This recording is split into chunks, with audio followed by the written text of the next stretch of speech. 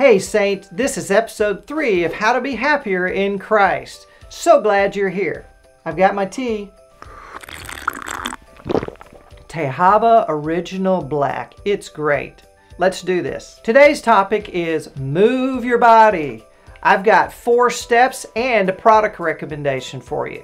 Unless you've been living under a really big rock, you've heard about the amazing benefits of exercise. But the question is, are you doing it or are you doing it to the extent that you want? So I hope to give you four things that'll help. Step number one, make it easy and make it something that you like.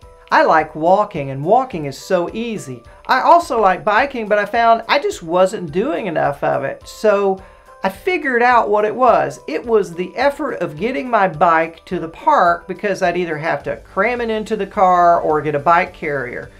Instead, what I did is I found a folding bike. Problem solved. I'm rediscovering the joy of cycling. So in your own world, think, how can I remove barriers to exercise so that it'll be both fun and easy? Step number two, measure it. Your phone will do this or get some kind of gadget. My favorite is the Oura Ring I'm wearing right now. Check out my review of the Oura Ring, but in any event, get something that you can track your steps and your other exercise. It makes a huge difference. Step number three, do the minimum effective dose. Don't be like me and think you got to go to the gym three days a week for an hour or you're just not doing any exercise. A little bit of exercise can make a huge difference.